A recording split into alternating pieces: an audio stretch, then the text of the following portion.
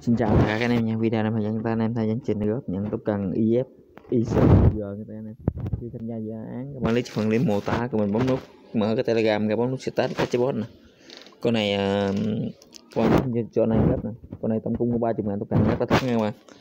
Khi tham gia dự án các bạn sẽ nhận được 0.02 tốt cần ZPIG không 16 đô. mọi được ghép với 0.02. Rồi, nhiệm vụ đầu tiên thì các bạn bấm vào John kênh group bên trailer nữa nè các bạn rồi, gì mình đã cho rồi? Rồi các bạn join tiếp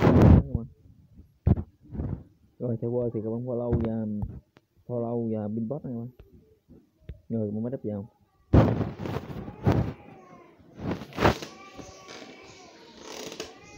rồi, các bạn theo dõi nghe bạn. Con này trước kia hình như là mình IFR này, hình như là mình trước kia có hướng dẫn các bạn tham gia trình này góp điện form ấy nay có chương trình này góp trên bot hay sao? Rồi các bạn like nè các bạn tự quyết lên nè. Mình nó thấy nó mới gửi về trình nguồn gấp 6 mình làm luôn tất cả các bạn mà, rồi bấm test lại nè. Rồi các bạn bắt đáp lên nha rồi các bạn bấm submit tên. Rồi, các bạn điền lại cái username telegram của các bạn các bạn vào setting copy cái username telegram ba của bạn các bạn lên nha các bạn anh cộng à, anh một một ba ba nè. Rồi, các bạn cũng điện lại tiếp tục của em telegram của mình nha các bạn. Các bạn vào setting copy nha các bạn. Rồi, các bạn à, cũng mở trang trader của mình ra. Copy của username trader của mình nha các bạn. MMO của mình bạn nào chưa biết câu gì thì có đây đây là comment dưới phần link mô tả các bạn.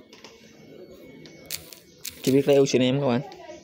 Rồi, các bạn mở địa chỉ chút Mesa Wallet MetaMask các bạn. Lấy copy cái địa chỉ ETH của mình nha tất các bạn. Rồi các bạn lướt xuống nha các bạn rồi các bạn copy nha các bạn rồi, các bạn mở bot ra nè.